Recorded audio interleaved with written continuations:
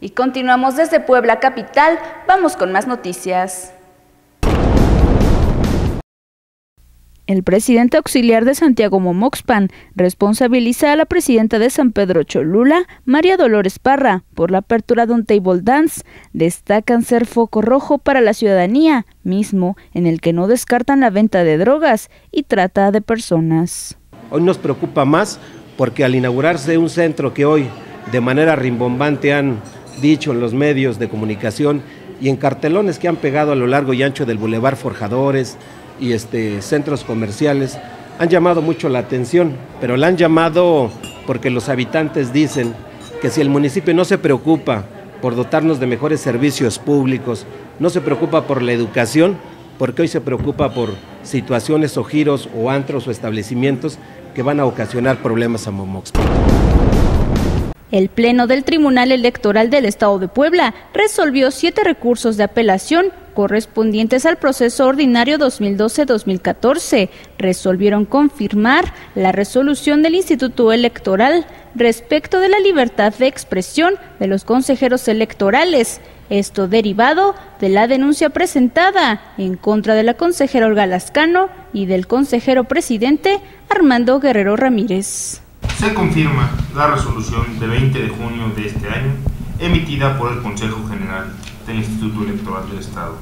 En el expediente DEN MCG-001 diagonal 13 relativo a la denuncia presentada por la coalición 5 de mayo en contra de la consejera Alicia Olga Lascano los integrantes de la Comisión de Turismo del Congreso del Estado sostuvieron un encuentro con el secretario de Turismo Roberto Antonio Trawitz, quien presentó un informe respecto al primer semestre del 2013 en materia turística. Señaló que el Estado de Puebla se mantiene en el primer lugar de crecimiento, ya que ha sido sede de eventos y actividades de talla nacional e internacional. El tema de los pueblos mágicos, que siguen siendo un tema muy importante para el el, para vender el Estado, definitivamente en el interior. Se presentaron datos de Puebla Capital, que tenemos ya crecimientos del 27% comparado con el año anterior en base a visitantes.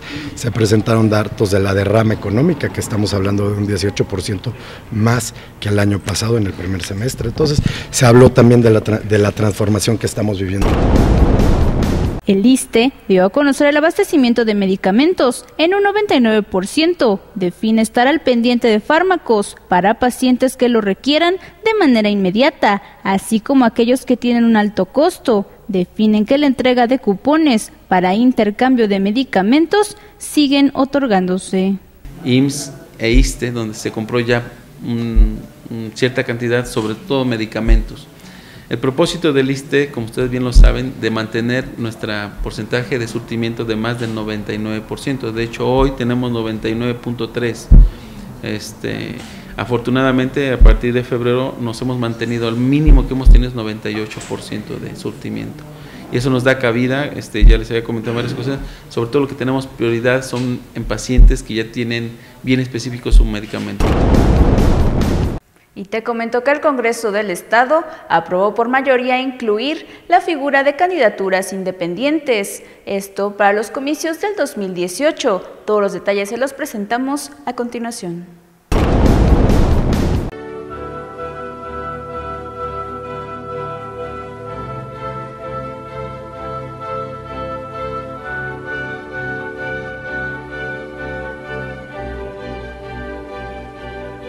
Sin pertenecer a un partido político, ciudadanos podrían contender por un cargo de elección popular, esto después que diputados aprobaran con 39 votos a favor incluir la figura de candidaturas independientes. De hacer un justo reconocimiento a aquellos ciudadanos que tienen interés y la capacidad por buscar el bienestar de la colectividad. Reforma que sin duda alguna en breve será toda una realidad. Después de Zacatecas, Quintana Roo, Querétaro y Yucatán, Puebla es la quinta en avalar esta reforma al código, así lo dio a conocer el presidente de la Junta de Gobierno y Coordinación Política, Mario Riestra. Y estaremos entrando en una fase de estrecha comunicación con el Instituto Electoral del Estado para revisar los tiempos eh, idóneos, también cumpliendo con la ley para la realización de, este, de esta jornada extraordinaria.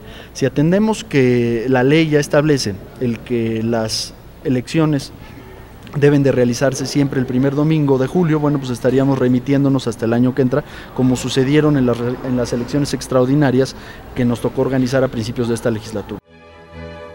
El documento señala que los partidos políticos deberán constituirse solo por ciudadanos sin intervención de organizaciones gremiales o con objeto social diferente y sin que haya afiliación corporativa que no solo los partidos puedan presentar candidatos, sino también los ciudadanos independientes que no pertenecen a un partido político puedan eh, ser candidatos. Entonces, hacemos hoy esta reforma a los artículos 3 y 4 de la Constitución y al 20, donde ya queda explícito que los ciudadanos independientes pueden ser candidatos.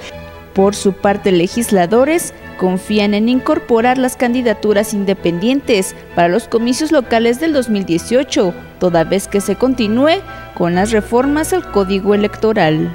Nosotros estamos considerando, eh, bueno, en primer lugar, nosotros no tenemos facultad respecto a las elecciones federales. Eh, en 2015 eh, probablemente entre en vigor, pero esto atenderá a la lógica federal. Nosotros estamos buscando que esta figura entre en vigor en la elección local de 2018, en la medida en que el número de habitantes de un municipio aumente. Es decir, en los municipios pequeños, quizá el umbral de entrada, nosotros estaremos proponiendo que sea mayor y en la medida en que el número de habitantes o el número de inscritos en el padrón electoral vaya creciendo, el número eh, de firmas o el porcentaje de firmas requerido. No obstante, el único voto en contra fue el diputado Eric Cotoñeto, quien refiere la necesidad de interponer candados para evitar interés en postulaciones. Además, precisó en consecuencias que traería consigo al órgano electoral. Si para los partidos políticos hay candados, para los partidos políticos hay una fiscalización eh, eh, muy rigurosa, nos auditan hasta el último centavo que nos entregan por recursos públicos. Al ciudadano que le van a ¿Qué le van este, a, auditar? ¿De dónde va a obtener recursos para su campaña? ¿Cómo le van a dar? También el instituto va a dar, les va a dar dinero a cada candidato, candidato ciudadano. Entonces creo yo que primero tenemos que revisar el código, cómo vamos a hacer esos candados, cómo se va a proceder las candidaturas este, ciudadanas y ver si es factible o no es factible. Hasta aquí la información. Continúe en estado por estado. Regresamos contigo, Víctor.